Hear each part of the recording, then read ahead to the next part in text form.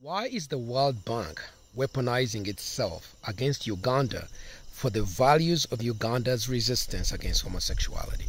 My name is Pastor Martin Ssempa. I'm a scholar and a researcher on the subject of LGBTQ and the African resistance.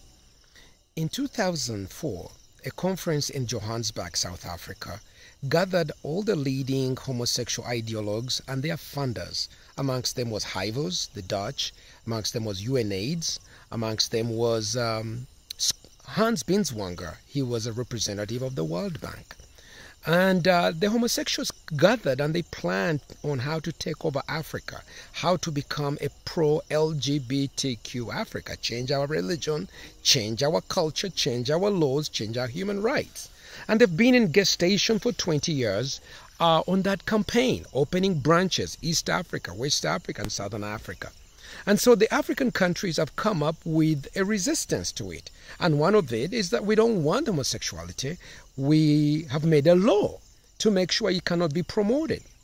And now, this morning, we just heard that the World Bank, Ajay Banga, uh, the CEO of the World Bank, said that they are suspending funding to Uganda of any future financing. And that somehow our law, the parliament that has passed our law, is against the values of the World Bank. Well, let me just share with you. This is like coming, you, you yourself sat down. You sat down and planned how to take over Africa. You uh, and your leaders, including uh, Hans Binswanger, he's an LGBTQ man. He came into World Bank covertly, and then after time, he began to weaponize himself, gathering other homosexuals, claiming that somehow the World Bank funding wasn't getting on the grassroots, which is not true. But the effort was weaponizing and hijacking the World Bank to use it as a, a bully, as a as a as a, a, a sledgehammer to break Africa's moral, religious, and culture to accept homosexuality, and that's wrong. So Ajay Banga, I want to tell you that Africa, we have not been involved in sitting down to come up with the corporate values of the World Bank. You cite a 2016 environmental and social impact uh, assessment. We were not there. You didn't have us sitting down. We're stakeholders.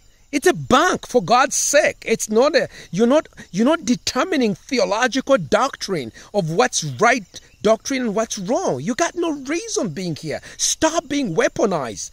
Ajay Banga, you're becoming the Budweiser of international financing. Stop pushing transgenders on us. Stop pushing LGBT uh, female mutilation on us. We don't want it.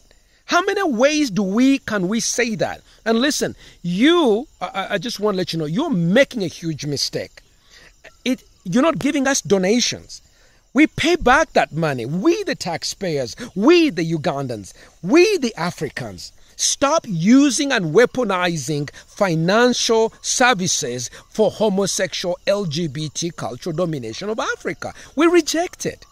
And lastly, you're making it more, uh, BRICS becomes more important. This August, the end of August, BRICS in South Africa. More countries are applying to join the BRICS because BRICS is not imposing itself that for us to get financial services, loans, and grants, that somehow we have to accept sodomy. We have to change our African culture. No, we don't have. So more and more likely, we're going to do business with China. We're going to do business with BRICS. That's the way it is.